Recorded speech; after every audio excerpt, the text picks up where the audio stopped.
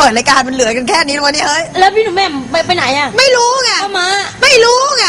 ดูดิพิธีกรอยู่ไหนแล้วยังไม่รู้สวัสดีครับ วันนี้พี่หนูแหม่มโทรบอกบอลบอลว่างไหมอะ ถ้าบอลว่างช่วยมาดูแลแทนพี่ที แล้วพี่ก็ไปไหนอะ วันนี้พี่หนูแหม่มติดภารกิจ อะ เลยส่งผมมาดูแลคุณสองคน พี่ม้ายังไงพี่ ม้าต้องมาสิเดี๋อะไรยวนะพี่ม้าหนูเห็นอะไรเนี่ยโยคะแอนมีคืออะไรอะมีพี่ม้าด้วยเหรอมีอ้าวก็พี่ม้าเล่นโยคะอยู่ข้างในปะนี่จิ๊กอะป้าจีของปจีไง ก็พี่ม้าเล่นอยู่ข้างในพี่ม้าต้องไปด้วยเหรอไป เอาแล้วแกไปเล่นโยคะทำไมนี่ไม่อัดรายการหรอเราโทรไม่บอกเมื่อกี้ผมไม่เข้าไปดู ผมนึกว่ามาเล่นกีฬาสูงอายุกันไม่ใช่ต้องตามแกไปแล้วเร็วเร็วเร็วเร็วไปมาตามป้ามาก่อนไปไปไปไปนี่เลยก่อนรองเท้าก่อนจ้าเข้ามาข้างในนี่เลย ไหล่ซ้ายไปด้านหน้าเหยียดแขนด้านหน้ากระโดดยืดยาวยืดหน่อยอย่าเกรงเหยียดแขนแนวท้องยืน แล้วค่อยเหยียดยืดแล้วก็นั่งลงสองหนึ่งหกด้านขาให้กว้างพี่มาเฮ้ยเฮ้ยเฮ้ยมีอุ้ยพี่มาโอ้ยพี่มาจะมาห้อยอะไรงานไม่ทำเหรอ ไม่ครับพวกเธออะ ฉันต้องทำตัวให้แข็งแรงก่อนที่จะพวกเธอจะพาฉันไปไปจนบ้ากัน โอ้ยได้จะมาสวัสสวัสดีครับอุ๊ยสวัสดีป้าจีครับสวัสดีครับ โอ้ยตายแล้วเข้าใจเรื่องเลยค่ะหุ่นอย่างหนูเนี่ยถ้าสมมติเล่นโยคะอย่างนี้ลดไหมครับ เออลดแต่ว่าเชือกขาดไหมเชือกขาดไหมไม่อันนี้อันนี้อันลนี้ดน้ำหนักแล้วป้ารับน้ำหนักได้หนึ่งต้องกิผโลมกระแดะมากเลยทำไอ้โก้ลองดูโก้โอ้โหนั่งให้ดีนั่งให้ดีด้านหลังส่งแขนไปด้านหลัง เออลองลองเห็นป้าเขา เฮ้ยไอ้โก้ค่อยเป็นข้างคาวเลย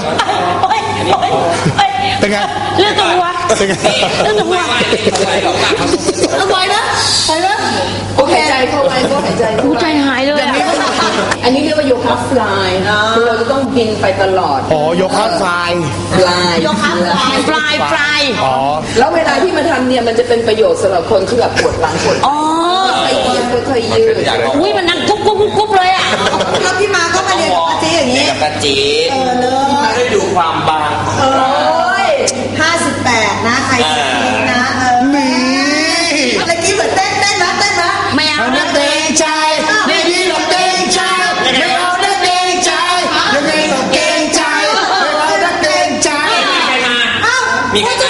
เขา ปาจีด้วยปาจีด้วยเฮ้ยนี่เมื่อกี้นะพี่ม้าพยายามที่จะเออเกรงใจแบบหลุยอะนะแต่เต้นแล้วดูน่าเกรงใจมากเลยเออดูดิเอาท่านแน่ท่านแน่เดี๋ยวนี้แฟนคลับเราต้องไปรับที่บ้านเขาหรือว่าเขามาที่นี่ เออมีมาไหมเหมือนมีผู้หญิงคนหนึงแบกกระเป๋ามาไม่รู้ใช่หรือเปล่าใช่ป่ะ น้องไหนอะ นี่เหรอ เฮ้ยก็เหรอ สาวตัวเล็กคนนี้แหละครับ ที่เป็นแฟนคลับของซุปตาหลุยส์เธอชื่อว่าแวมไพร์ปัจจุบันแวมไพร์มีอาชีพเป็นแดนเซอร์ เธอบอกว่าจุดเริ่มต้นที่ทำให้เธอชอบเต้น เป็นเพราะมีแรปเตอร์เป็นไอดอลตั้งแต่เด็กๆ ถึงขนาดเคยเข้าประกวดเต้น เพราะอยากได้บัตรคอนเสิร์ตแรปเตอร์มาแล้ว และครั้งนั้นเป็นครั้งแรกที่เธอได้เห็นซุปตาร์ในดวงใจผ่านไปสิบกว่าปี ครั้งนี้เธอขอเขียนจดหมายมาสมัครค้างคืนกับซุปตาร์ เพราะมีความฝันว่าอยากเต้นเป็น backup ให้แรปเตอร์และใกล้ชิดพี่หลุยส์สกอตสักครั้งหนึ่งเต้นแบบหลุยส์สกอตได้ไหมโอ้ยถ้าเป็นแฟนคลับจริงต้องเต้นได้ จริงเปล่าเลยเริ่มกันมาด้วยนะมาด้วยนะเพลงด้วยนะแปลกใจจริงจริงๆมองทำเลยตัดตัดตัดตัด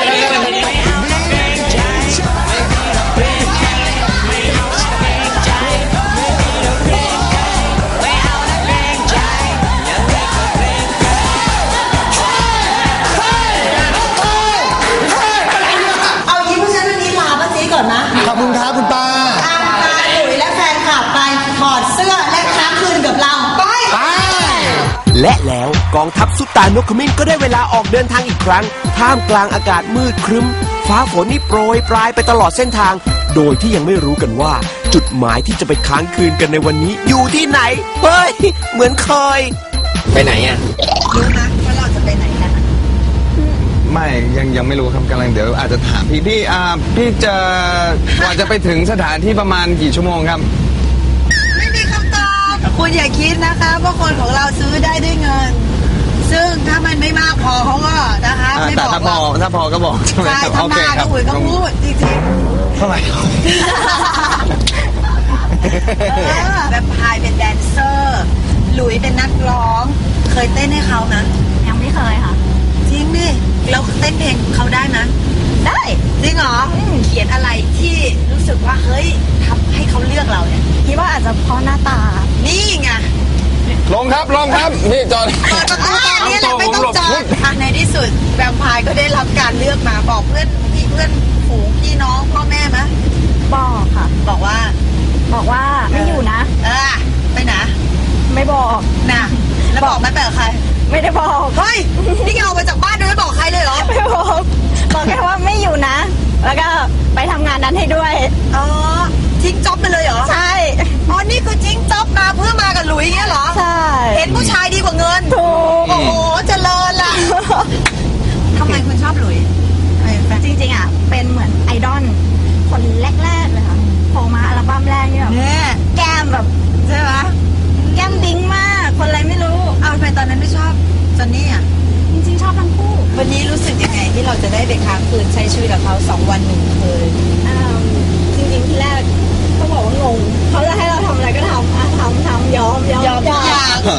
จะได้นอนนะ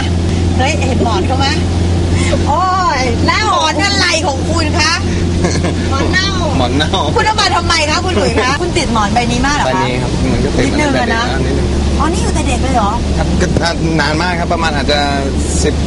แปดแล้วมั้งครับสิบกว่าปีแล้วค่ะแต่เหตุวิว่าที่เหตุผลที่ติดหมอนมากขึ้นตอนโตเนี่ยอาจจะเป็นเกี่ยวกับเรื่องที่ผ่าตัดคอมาอ๋อผ่าตั ดคอปุ๊บมันก็เลยเวลานอนหมอนหมอนแบบไหนที่ที่เราไม่ชินไม่อะไรเนี่ยมันจะตื่นมาคอเคล็ดมันเจ็บไม่ลงล็อกคอเราด้วยอะไรด้วยใช่ครับเหตุผลดีนะเหตุผลดีเออใช่แต่ความจริงคือติดหมอนเน่าจะดมป่ะพี่หลุยนี่พี่พูดจริงไม่ได้ acting นะแกควรซักหมอนดีกว่าไม่รู้นะว่าจะไปที่ไหนแต่รู้แน่ๆมันต้องมีการเสียเหงื่อและเสียน้ำตาเห็นป่ะคะ เด็ก แต่หลุยพี่ว่านุ่นเขาจะมานะไม่มีทางสองหมอนเผลอๆรออยู่นะคะอะไรช่วยพูดพูดแม่อย่าพูดเองพอโดนสาวแม่ขู่ว่าอาจจะเจอเซอร์ไพรส์มีสาวนุ่นหวานใจมาดักรออยู่ปลายทางแหมหนุ่มหลุยส์ก็เลยร้อนใจ แอบโทรไปเช็คพิกัดแฟนสาวทันทีเลย อืม โอเค ไหนนุ่นอยู่บ้านไหมนุ่นนะ โอเคครับครับ พอรู้ว่าสาวนุ่นเนี่ยไม่มาแน่ๆซุปตาร์ของเราก็วางใจไร้กังวล นอนหลับเอาแรง เพื่อไปลุยกับเราต่อครับ ลุ้นเลยครับตอนนี้ อ่าลุ้นสิพี่ครับ ท่าเรือ มาท่าเรือปุ๊บมันอันนี้เอนะมัน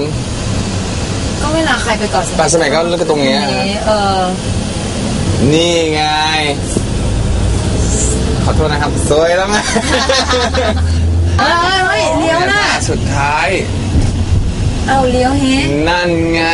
ท่าเทียบเรือ เฮ้บ้านเพอะอ้าวแกขับรถลงเรือลงทะเลลงทะเลจริงด้วยเอาจริงนะนี่โอ้ยมันเดินเดินเดินเดินลงลงลงกันแล้วครับตรงเรือนะประมง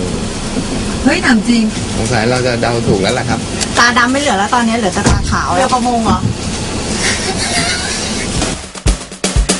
ในที่สุดแก๊งซุปตาของเราก็ต้องมาต่อเรือ เพื่อไปยังสถานที่ที่เราจะมาค้างคืนกันคืนนี้ จะใช่เกาะเสม็ดอย่างที่ฝันกันไว้หรือเปล่า เอ๊ะเราจะรู้แค่ไหนอะก็ดูจากเรือที่มารับเอาเองก็แล้วกัน ทำไมเรา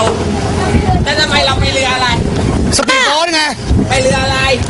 เฮ้ยทำไมเราเป็นเรือเอี้ยงจุนน่ะ ไม่ทำไมเขามีเรือหรูหราทำไมเราเป็นเรืออย่างเงี้ยเราจะนั่งกันยังไงเนี่ยไม่ไปเลยอย่างนั้นแล้วพี่ม้าล่ะ ว่าจะใช้เรื่องออกเกียกตรงไหนนะ อย่าบ่นครับ อย่าบ่นพี่ม้าลงเรือแล้วตามเรามาซะดีๆ ครั้งนี้จะได้เปลี่ยนบรรยากาศมาค้างคืนรับลมทะเลกับพระเอกซุปตาหลุยบ้างจะเป็นไรไป ใช่ไหมะ อะไร เอาเชียว รู้แล้วจะตายไหนไปนี่อะ